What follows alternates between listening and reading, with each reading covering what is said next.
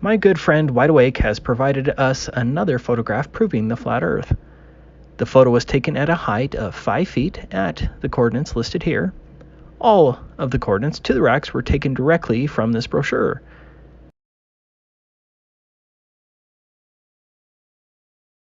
Here is the amazing photo by Wide Awake. There are six racks visible in the photograph, and each rack is 16 feet high.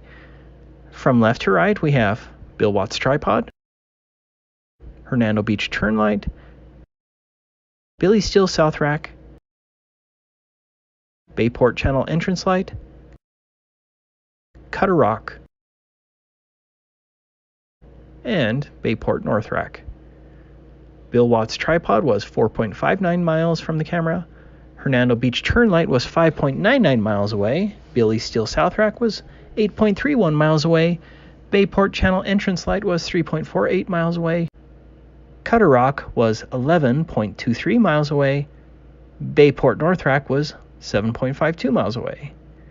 Here are the globe hidden numbers for each rack with a camera height of 5 feet and the correct distances. You can plug the numbers in here and verify for yourself.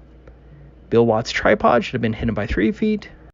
Hernando Beach turn light should have been hidden by 7 feet. Billy Steele South Rack should have been entirely hidden by 21 feet.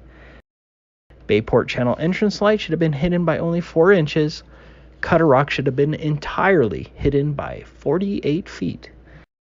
Finally, Bayport North Rack should have been hidden by 15 feet. Without question, according to the globe model, two of the racks, Cutter Rock and Billy Steele, should not have been visible but obscured entirely by the purported Earth's curvature. The top of Cutter Rock should have been 32 feet below the horizon. The top of Billy Steele should have been 6 feet below the horizon.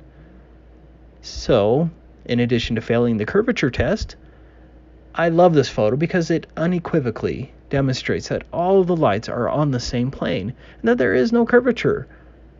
Are we to believe that refraction only caused the lights of Cutter Rock and Billy Steele to hop the curvature while all the other lights remained where they should? A picture is worth a thousand words, and I hope you see here that there is a major problem with the globe model. Thank you.